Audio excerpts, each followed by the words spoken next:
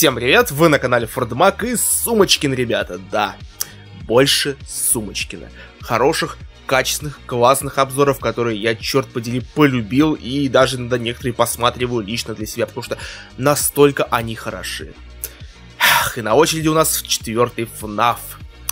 Многие считают ее отличной игрой, многие считают ее так себе игрой, я где-то посередине, но давайте же узнаем мнение Сумочкина, что же нам поведает о четвертой части, все-таки после третьей и ее довольно неоднозначных решений. Кто-то пойдет по одному пути, кто-то решит изменить полностью всю концепцию, но давайте же реально послушаем, что же нам скажет Сумкарь. И да, это уже было, мне об этом говорили, кто такая нахрен ракообразная? Кто в комментариях мне писали разные вещи. Кто-то мне говорит, что это его девушка, кто-то говорит, что это его сестра, кто-то вообще его подруга. Ребят, просветите мне нахрен, пожалуйста, те, кто шарит. Я просто в недоумении. Даже ничего больше не буду говорить, просто поехали.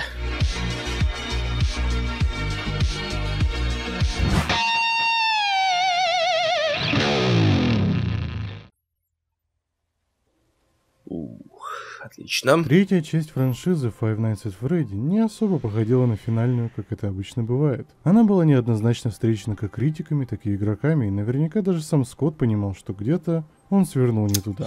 Поэтому истинное завершение да. франшизы не заставило себя долго ждать, и уже спустя месяц после выхода многострадальной тройки начали появляться тизеры загадочной четверки. Первым выступил Фредди, а точнее уже кошмарный Фредди, но об этом еще никто не знал. Он держал в руке свою шляпу, а из его тела торчали еще три маленькие головы Фредди, создавая тем самым совершенно новый пугающий образ аниматроника, навевающего злодеями ужастиков 80-х и Фредди Крюгером в частности. Не только, напоминает еще нечто Карпентера. глава и дата Хэллоуин 15 -го года. Как позже окажется неверная, ибо сама игра выйдет намного раньше, в июле. С чего это так? Впоследствии Скотт отмахнется. Хэллоуинская дата была для хэллоуинского ивента в игре. Хотя а... все мы прекрасно понимаем, что это не так, и кое-кому было просто не втерпешь сделать и выпустить игру. Последующие ну, тизеры уже имели более конкретную суть, нежели просто показ персонажа. И все как один спрашивали у зрителя, был ли это я, а может быть я. Дополняя все это цифрами 8 и 7, скрывающимися в коде сайта, Люди быстро смекнули, что речь идет именно о знаменитом укусе 87, и что новая и, наверное, последняя часть наконец откроет завесу этой тайны.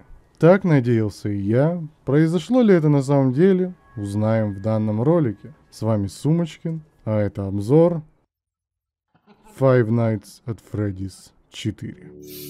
Ух, yes.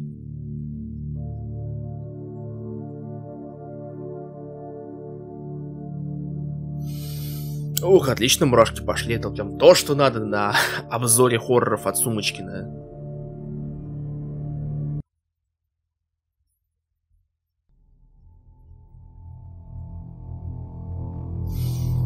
Сюжетец. Что же у нас там по сюжету? Игра открывается предостерегающей надписью, что осталось 5 дней до вечеринки. И спустя каждую ночь дней остается все меньше и меньше. Что логично. На фоне играет утробный депрессивный эмбиент, который то и дело разбавляется противным смехом.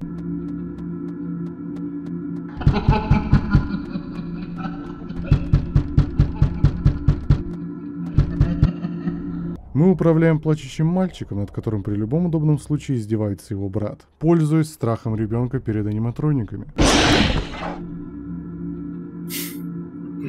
Вот же Он пугает его, выскакивая с криком, напялив маску Фокси. Запирает его в своей комнате и даже в тех помещениях с запчастями устрашающих машин. И постоянно над ним смеется. Честно, Но это... у мальчика есть друг. Маленькая игрушка Золотого Фредди, или как позже будет понятно Фредбера. Фредбер говорит с мальчиком, говорит, что он будет с ним, высказывается по поводу происходящих событий и подмечает, что завтра будет новый день. Типа реально, ну, это ж... самое главное. Блин, ребенку детскую травму можно оставить. смотрит своими белыми глазами точками. Где бы ни был мальчик, там будет Фредбер, будь то его комната, пиццерия или даже улица. Однако сам он ничего сделать не может, а только наблюдает, как брат мальчика пугает его из-под кровати, выпрыгивает из-за телевизора и, конечно же, прикола ради, тащит его со своими дружками на его же дне рождения прямо в пасть железному Фредберу. пока тот из-за попадания в механизм влаги в виде слез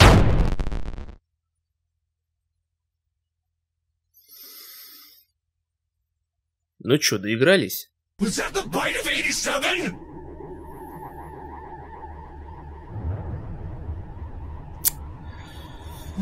Брат извиняется за содеянное, но уже слишком поздно. Игрушечные Фредди, Бонни, Чика и Фокси говорят, что они его друзья, и они все еще здесь, в то время как игрушечный Фредбер говорит, что соберет мальчика воедино. Все исчезают.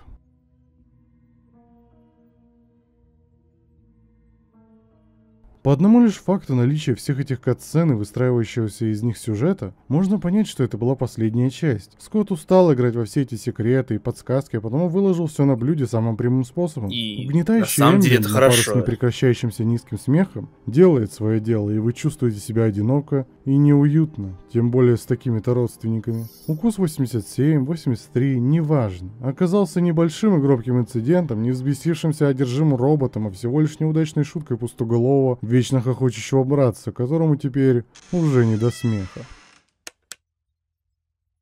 Какой же смех? Братца-то больше нет. С самых первых секунд стоит вам только попасть в меню, как игра тут же задает атмосферу этой музыки. Я реально не понимаю, неужели людям так нравится доводить детей до травм? секунд я вам ее дать послушать не могу, мы с ютубом не в ладах. Но того, что есть, уже достаточно. Хотя ладно, это слишком наивно звучало. Музыки, как растущий гул опасности, что приближается прямо к вашему дому. И так оно и есть. Ведь присмотревшись получше к кустам, вы поймете, что это вовсе не кусты, а чудовища, что затаились в ночи прямо рядом с вами. Безумно обожаю это изображение. Оно идеально выдерживает тон и атмосферу всей игры. Атмосферу ночного кошмара, затаившегося ужаса и тварей, что подползают к вам Чем напоминает самой первой части Alone the Dark. В самом доме и геймплее Ambient не представляет из себя что-то особенное, достаточно утробный, позволяющий отразить погруженный во тьму ночи дом, но и не шибко запоминающийся, как с первой частью или второй. Поэтому Ambient дополняют, ну или точнее скрашивают звуки ночного дома старинные часы, лай Вот честно говоря, я почему-то пипец боюсь вот этого звука стали, старых часов. Не знаю, почему меня напрягает.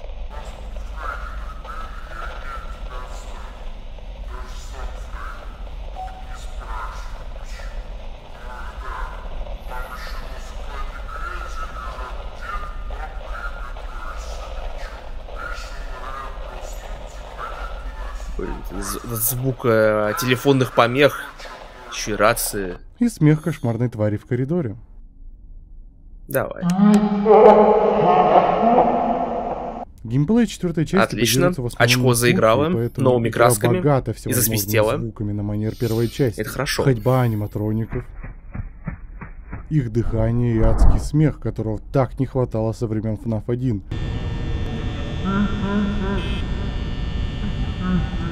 Если выбирать победителя, то Фредбер без разговоров занимает первое место. Его смех чрезвычайно низкий, протяжный. И опять же, на... да, все-таки слышится, что это записано именно смех ребенка.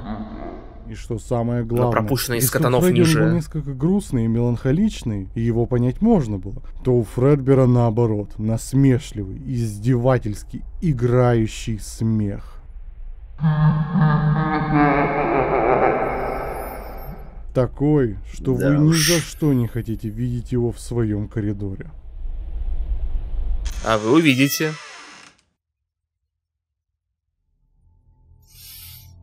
Ух, ну по графике тут на самом деле все очень даже неплохо. Показательно, что для своей последней части Скотт решил избавиться от локации пиццерии и ей подобных, и вместо нее погрузить игрока в более спокойные и понятные стены дома. Вашего дома и вашей комнаты. Сеттинг вновь Но все равно оставил некоторые детали, тот же вентилятор. Нет больше никаких аттракционов ужаса или сумасшедших пиццерий с их электричеством. Есть только вы, ваш дом, ваша комната, игрушки, шкафчик и... и монстры. На мой взгляд, да. именно благодаря Уютный шкафчик. кошмарные аниматроники работают. Сам их дизайн в отрыве от игры не сказать, что прямо устрашающий, скорее карикатурный, будто вылезший из самых глубиночных кошмаров, кошмаров пораженного ребенка. И именно таких чудищ ребенок ни в коем случае не хочет видеть у себя дома, прячущимися в тени Я бы испугался, если бы видел такую херовину у себя. дома. Весьма обычно. А лучше бы вызвал полицию. Верно. А потому эффект, когда в самом обычном месте появляется нечто, работает по максимуму. Здесь наконец начала работать анимация, что Скотт пытался ввести в третьей части, но если там это выглядело нелепо, ибо все происходило у вас под носом, то тут есть в этом что-то из разряда Unneverring Images, или же напрягающие образы, как огромная махина, робот из больных фантазий, что вы видите в бредовом сну болезни, просто уходит за угол в темноту, подальше от вашего фонаря. И это работает.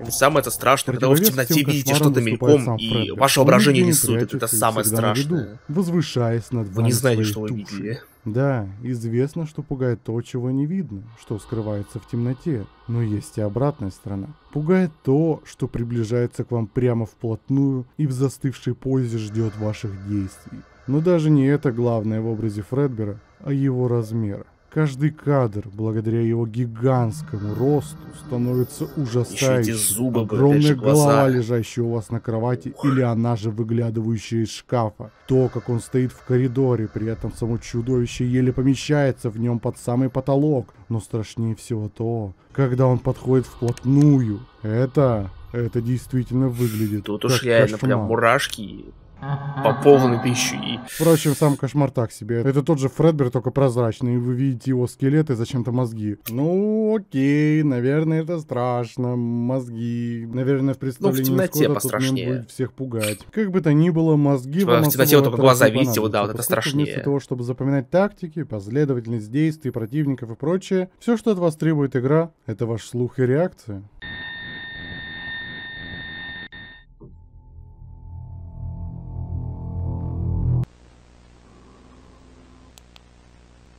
О, hello there.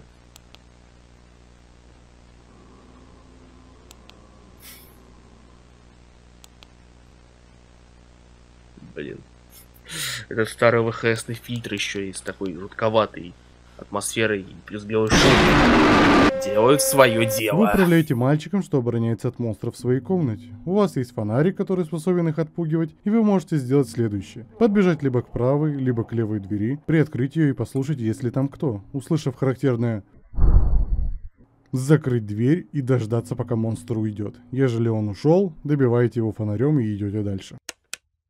Подбежать вы также можете к своему шкафу, в котором поначалу ничего нет, но если вы замешкаетесь Бедный и ребенок, пропустите Фокси, то тот незамедлительно обоснуется в нем, как заправский Гарри Поттер. И, собственно, станет новой болью в заднице, ибо теперь и его нужно чекать. Светите на него фонарем, закрывайте дверь, и с каждым разом его ЧСВ уменьшается, и тот предстает к вам в образе Ты игрушка дьявола. Последнее, что вы должны делать, Просто это оборачиваться на кровать и отгонять мини-фреддиков, похожих на зубастиков из одноименного фильма. Потому что если этого не делать, то они соберутся в единого. Пауэр Рейнджера Супер Прекрасный Фредди. Гандама, ну и сожрут вас. Невооруженным взглядом виден жирнющий амаш в сторону первой части. Двери по бокам, слева приходит Бонни, справа Чика, а посередине вы должны пасти Фокси. Фредди разве что не вписывается, но такое ощущение, что и самому Скотту было глубоко на него уже насрать. ладно? Five Nights at Freddy's.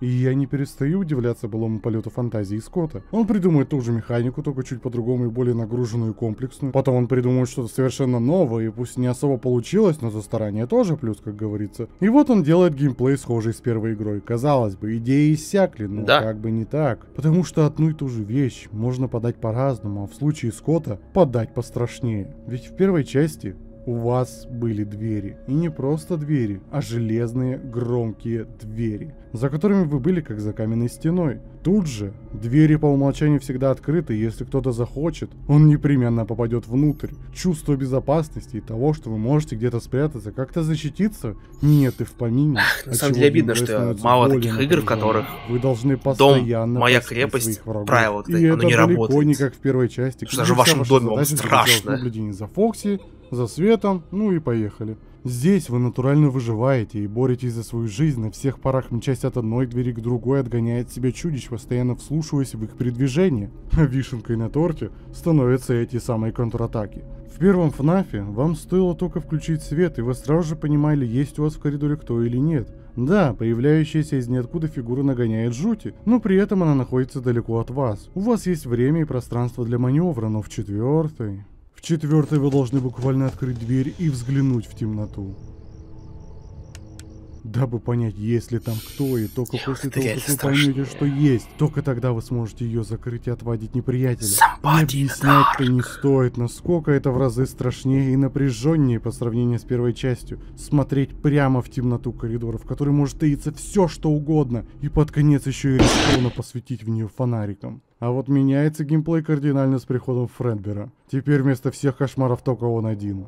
Он может быть и слева, и справа, и в чулане, и на кровати. И начинается натуральная гонка. Я просто поражен тем, что Скотт умудрился в рамках одной игры поменять правила с ног на голову, но при этом суть оставить прежней. Вы также должны слушать, это по-своему гениально. его Просто, фонариком, но, но делать это надо вдвойне быстрее и куда более внимательнее. Одна ошибка, неправильное действие или долгое свечение фонаря.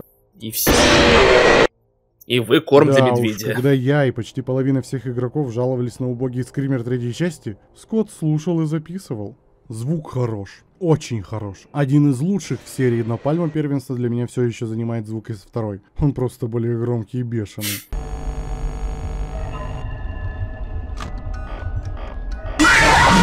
четверке же он более грубый и грозный. Будто на вас напал дикий медведь, и он делает свое дело. Сами скримеры тоже хорошие. Они быстрые, стараются лететь вам в лицо, а сама анимация довольно плавная. Проблема тут в том, что пугает скорее не они сами, а тот саспенс, что наращивает геймплей. Но это реально хорошо, когда постепенно саспенс нарастает, нарастает, нарастает и доводит, так сказать, до точки кипения, когда вы уже понимаете все. Обратно пути нет. Вот это самое идеальное в хорроре. То есть все, вы сами уже понимаете, что вам жопа, но вы хотите увидеть, что с вами.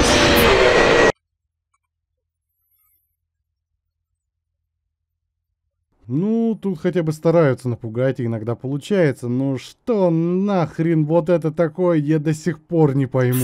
По-моему, Скотта до сих пор не отпускает призраки его прошлых игр. Ибо он так и норовит вставить какую-нибудь мини-игру, совершенно не к месту и зачастую дерьмовую. И ладно, там сюжетные мини-игры, они хотя бы раскрывают лор. Ну, так себе на самом деле, ибо над ними все еще гадают, ломают голову, ну хотя бы так. Но, но все равно. С плюштрапом вот вообще не хотел материться, но вот что это, блядь? Какой еще в жопу плюс штраф?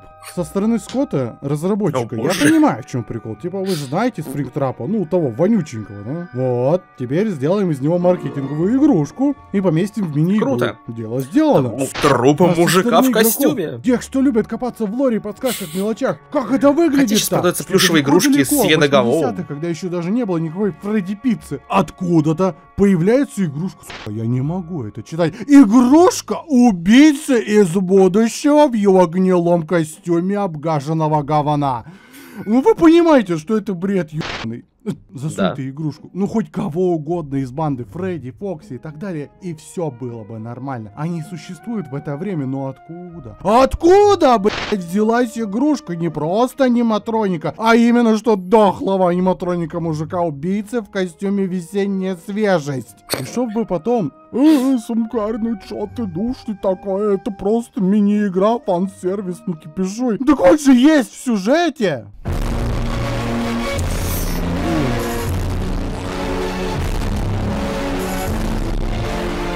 Плюштрап.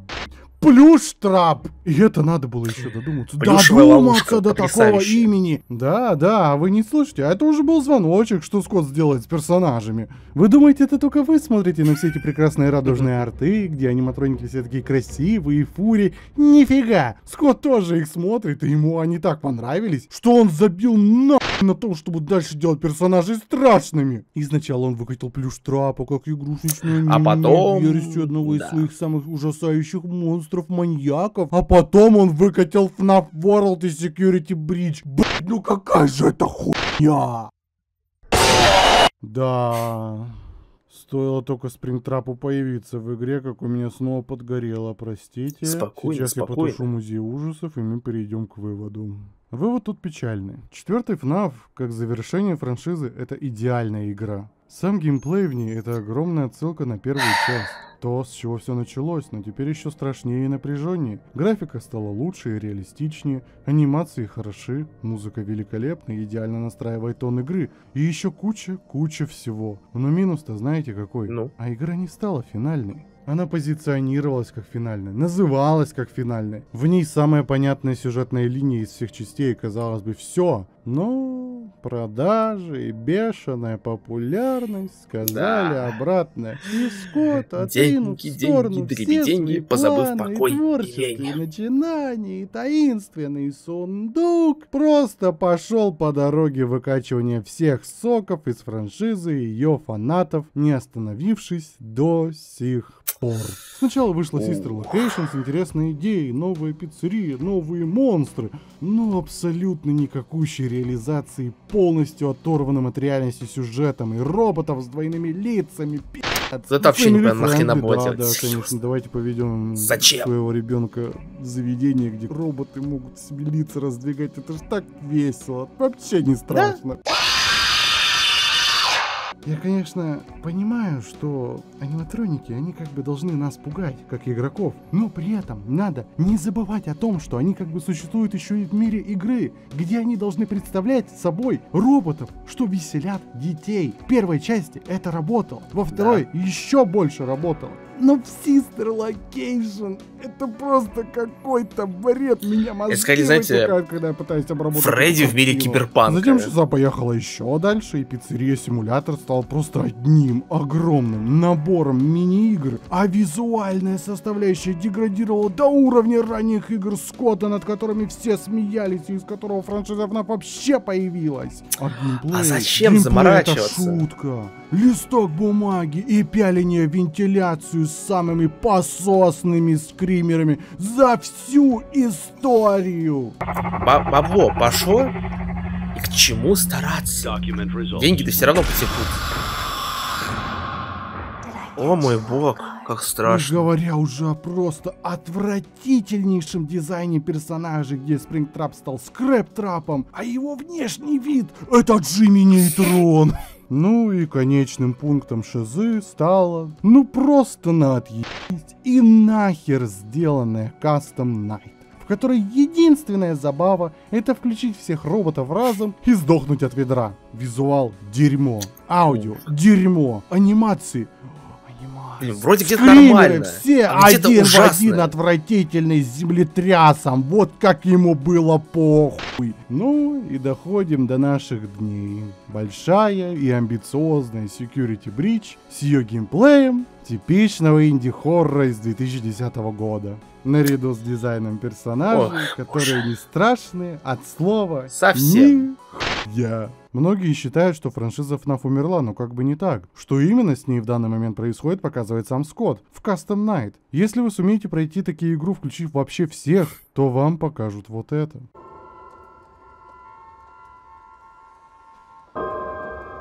Какие-то саунд... Саунды из... э,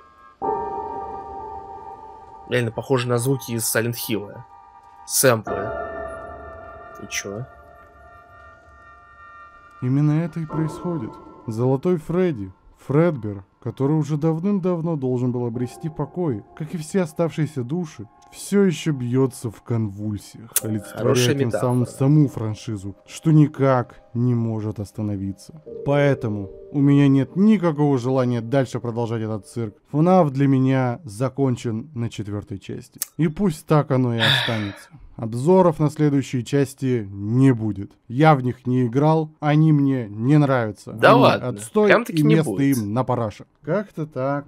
Вот и подошла к концу моя, можно сказать, ретроспектива обзоров на ФНАФы. Началась на одном канале и закончилась на другом. Да, смешно получилось. На И самом деле не особо смешно, скорее трагично. пострадал не только мой канал, но и сам Скотт Коутон. Жители Твиттера, как это нынче бывает, вновь на что-то обозлились. А именно на политические взгляды Скотта и то, что он поддерживает Как не так тех можно? людей. Словами не передать, насколько ну, это тупая ситуация. Вроде бы современный мир, развитые страны, свобода слова это и выбора. Твиттер. Но если это современная культура. поддерживаешь не того, то тебя просто возьмут и отменят. Несмотря на все, что ты для них сделал, они тебя возненавидят. Так зачем надрываться? Затем, что так правильно. Граждане требуют отменить. Кстати говоря, экстренный выпуск. это даже не эта фраза работала еще в 2001 году с Пауком, в 2002. Скотт решил долго не сопротивляться, а просто уйти с миром на пенсию, отдав франшизу в руки кому-нибудь другому, скорее всего, своему преемнику кто он, неизвестно. Хоть все это и грустно звучит, но я считаю, что это даже к лучшему. Скотт наконец может уделить время своей семье и детям, а франшиза наконец получит второе дыхание. Мы часто ругали и критиковали Скотта за неудачные решения и доение франшизы, и даже в этом ролике это было. Но сейчас я хочу забыть обо всем этом и запомнить только самое лучшее. Первые Именно три, первые четыре игры. Они навсегда Игры, которые, я считаю, в сердце и теплых воспоминаниях. Не умрут и еще за них очень долгие годы. юность, за бессонные ночи просмотра летсплеев и теорий, я хочу поблагодарить Скотта Коутона. Это было весело и местами страшно. Спасибо за все. Спасибо за обгаженные штаны и кучу теорий. Ну, а с вами был Сумочкин. И помните, когда основная серия скатывается к чертовой матери, то, как правило, смотрит в сторону фанатов. Эх, вспоминаю фан-базу Undertale. В году так 18-19 какой же это был мусор. Полный трэш, когда люди ссорились из-за полной херни. Ух, что в конце-то будет, ведь ролик-то длится еще целых 10 секунд. Там сейчас такое... -то... Я сюда на! Я тебе еще раз повторил. Вот берешь свое тело, вон там, и вот так вот переносишь. Можешь с телепортом, можешь пешком. Могу тебе сейчас пинка побыстрее. Ну что ж, ребята, вот мы выслушали сумочки по поводу четвертого ФНАФа, и, честно говоря, мне даже как-то жаль осознавать, что фан, такой фанат, как Сумочкин, человек, который реально любил эту серию, смотрит на франшизу сейчас и видит не то, что она закончилась на правильной ноте, а то, что она превратилась в большую такую дойную корову, которую продолжают и продолжают насиловать. И это обидно, потому что четвертая часть, так подумать, реально была бы идеальным финалом, в которой множество точек были поставлены на «ны», и все было бы просто как надо. Но, как говорится, игры мучатся, лавеха В любом случае, Сумочкину огромное спасибо за данный обзор, респект и аниматронный лайк. Реально, очень было приятно пройти через эту франшизу, узнать опять же о мнении Сумочкина. Но я пока что не я пока что не гуглил остальные обзоры Сумочкина, так что я не знаю, делал ли он все-таки на Sister Location остальные, потому что мало ли вдруг фанаты вынудили на твою же налево. Скотт. Спасибо тебе, конечно, за все эти прекрасные игры. Но зачем были остальные? Зачем?